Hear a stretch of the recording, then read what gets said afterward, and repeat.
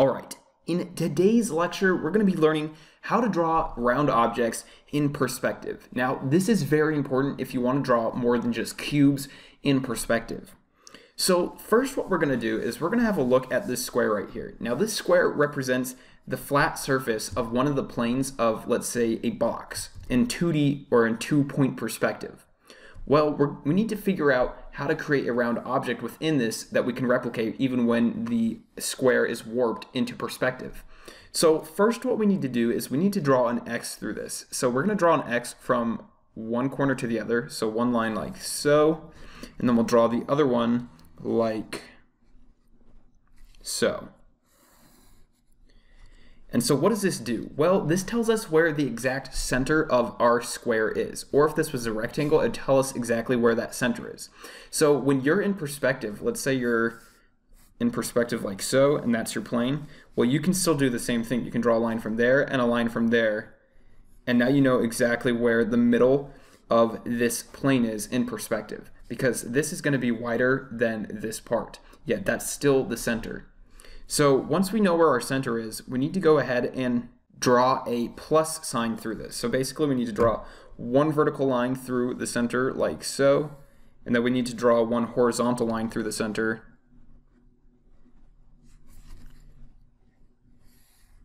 like so.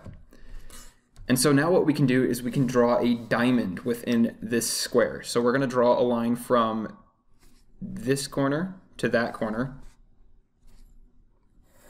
just like so, and we want to do that all the way around our box.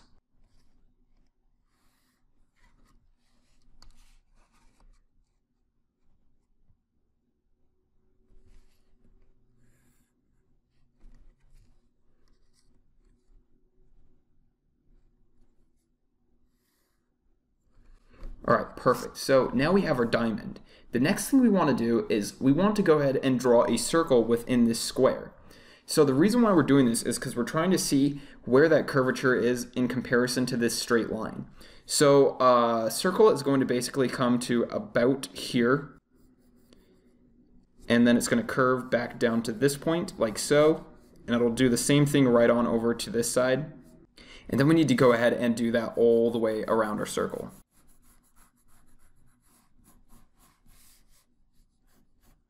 And this actually needs to come out just a little bit more.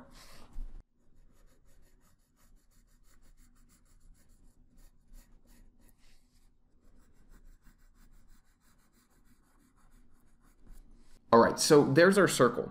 So basically, by drawing this diagram, we have a good understanding of how to recreate the circle on a plane that's in perspective.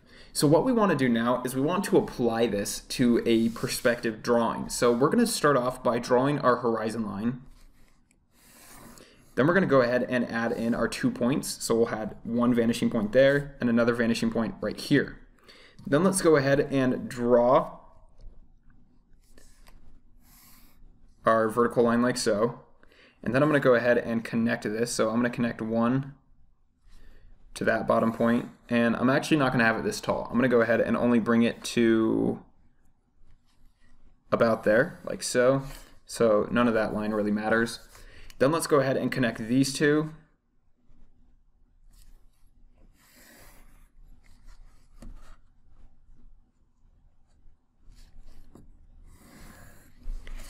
And then I'm going to go ahead and erase this line since we actually don't need it that tall anymore. And then we're not going to worry about making a top surface for this because you'll see why in a second. What we want to do is we want to create a circle on this plane perspective right here. So let's go ahead and add in our edge to our cube. And then what we're going to do is we're going to do the same pattern but on this face. So first off, we need to go ahead and draw an X through it. So we're going to draw a line from one corner to the opposite corner, like so. And then we'll do the same thing on the other corners. Great. So next what we want to do is we want to go ahead and find where those vertical and horizontal lines are that are in the center. So first we'll draw our vertical line right down the middle like so. So it crosses right through that middle point. And then we want to find our middle line going horizontally. And so what we'll do is we'll line up our ruler with this midpoint right here all the way out to our vanishing point. Then we can draw a line right through that like so. So now we have our plus sign and our X. Next, we want to go ahead and create our diamond. So I'm just going to quickly do this by hand. So I'm going to draw a line from there to there. I'll draw another line from here to there. And I'll draw another line from here to there. And I'll do this same thing with this last two points, like so.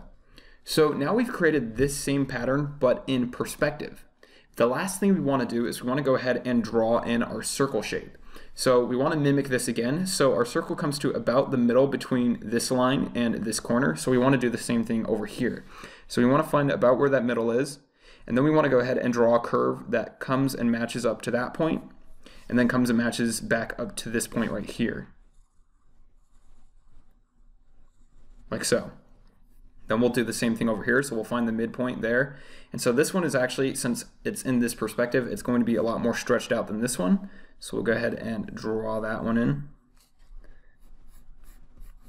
Like so. And then let's go ahead and do the same thing for these bottom ones. So we'll put a line right here in the middle. We'll put another line right here in the middle also. So this you'll see gets really squished because of the way the perspective is.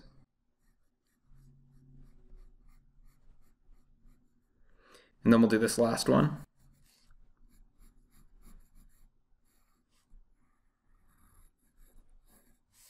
All right, great. Now this isn't perfect, but if you wanted to spend more time making sure you got those curves perfectly right, it would look much better. But for now, this will work well enough. So we have our basic circle shape in two point perspective. Now, if we wanted to create a cylinder, all we'd have to do is draw a line coming off of this corner right here back to our vanishing point, and the same thing for up here. We'd draw from this top right here back to our vanishing point. So let's go ahead and do that. But before we do that, let's go ahead and erase away all of these guidelines because we don't actually need them anymore.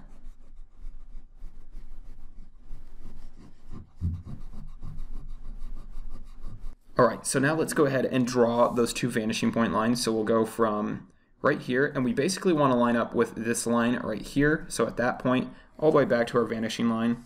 And then we'll go ahead and do the same thing from here to that top point, like so. Now, as we get to this edge of our cylinder, the perspective on this circle is going to change because it's in a different position.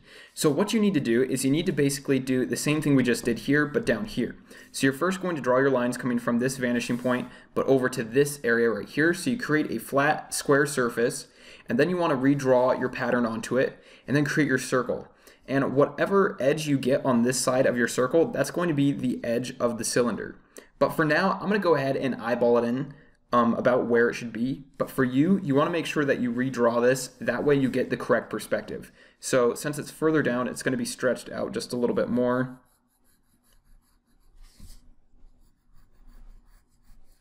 Like so.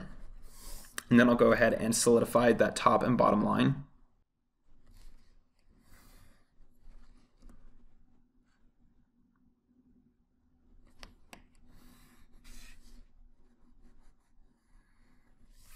Right, perfect. So now we have a cylinder in two-point perspective. Now, where else might you want to draw a rounded edge? Well, let's say that you're drawing um, a building that has arches. And so you have your one point here, and then you have your lines coming off like so. And so here's your flat surface.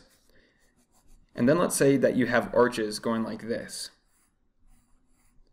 on that surface. Well, to figure out how those arches are going to curve, you would do the same exact thing. You would draw the same square right here, and then you would have to draw your X through it, and then your plus sign through it, and then your diamond, and then you would need to draw your circle around in that.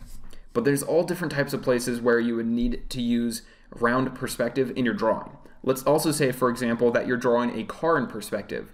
Well, if you need to draw wheels on that car, you're going to need to know how to do that in perspective. And so knowing how to draw around things in perspective is extremely useful. That brings us to the end of this lecture. So in this lecture, you learn how to draw objects that are round in perspective. So just remember that the way you draw a round object is first by finding the center of your object, then by drawing, drawing a diamond to use as a reference for your curve. And then once you do that, you want to apply that onto your surface area that's in perspective, and then you want to replicate that curved line in proportion to your reference line, which is the diamond lines. Thanks for watching this lecture, and I really look forward to seeing you in the next one. Now, if you have any questions about this, I know that this can get kind of complicated. Make sure you ask them in the Q&A section of the course. Thanks for watching, and I look forward to seeing you in the next lecture.